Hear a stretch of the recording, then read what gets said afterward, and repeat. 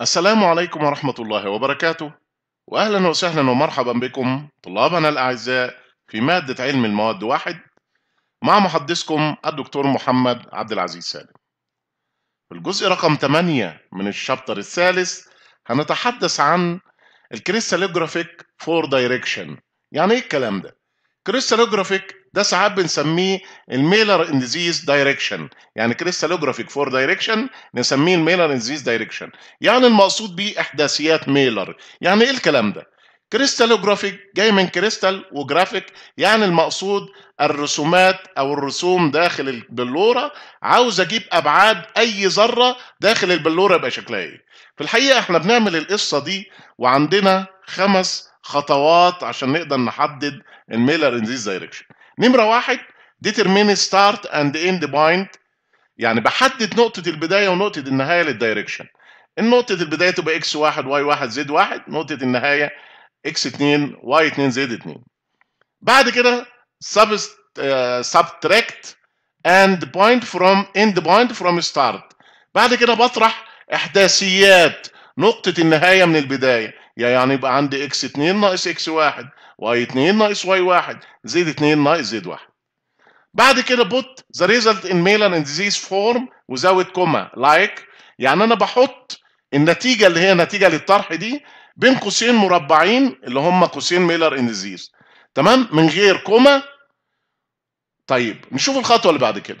رقم أربعة clear friction if any by multiplied the place of the fracture أو of the fracture هنعمل إيه؟ لو عندي كسور أشيل الكسور طب أشيل الكسور إزاي؟ بإن أنا أوحد المقامات تمام؟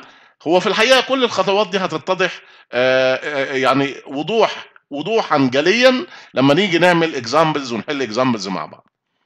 نمرة خمسة أسأل نفسي سؤال put the negative sign if found over the number. لو عندي علامة سالب أحطها فين؟ يعني أقدر ناتج الطرح والكلام ده؟ أداني أرقام مثلا رقم مثلا على سبيل المثال بالمنظر ده. طب يبقى أعمله إزاي في شكل Miller indices يبقى أروح عامله كده أدي القوسين المربعين وأدي الواحد صفر وأدي الواحد وأدي الصفر ويبقى السالب بحطها فوق الرقم السالب من فوق. تعال نشوف بعض الملاحظات على ال Miller indices direction قال لك direction and its negative are not identical. يعني إيه الكلام ده؟ طب أنا بتكلم دلوقتي على direction هل يعقل إن ال direction وعكس اتجاهه يبقوا متكافئين؟ لا طبعا غير متكافئين وغير متطابقين. تمام؟ يعني مثلا لو عندي Miller indices direction واحد واحد واحد أكيد لا يتطابق ولا يتساوى مع واحد واحد صفر آه عفوا مع واحد واحد سالب واحد. لأن معنى كده إن ده اتجاه تاني مخالف وبالتالي ما ينفعش. تمام؟ طيب. الحاجة الثانية إن ال direction and its multiple are identical يعني في الحقيقة هنا بيقول لك لو عندي direction واحد واحد واحد يبقى ما تطابق مع ال direction 2 2 2 يتطابق مع ال direction 3 3 3 يعني خلاصة القول في منتهى البساطة. معناها إيه؟ معناها إن أنا لا يشترط بعدي عن الشيء اللي أنا متجه ليه. يعني مثلا مثال بسيط جدا. اتجاهنا للصلاة أو اتجاهنا للقبلة أثناء الصلاة هل يعتمد اتجاهنا للقبلة أثناء الصلاة على بعدنا عن الكعبة؟ أبدا اللي في الصين متجه للكعبة واللي في الشرق متجه للكعبة واللي في الغرب متجه للكعبة هو بعيد عنها قد إيه؟ مش مهم لأن هي طالما إن إحنا بنتكلم على اتجاه مش بنتكلم على مقدار. الحاجة الثالثة certain group direction are equivalent يعني مثلا لو عندي عيلة من عائلات ال direction زي ما بتتكتب كده بتتكتب بالمنظر ده.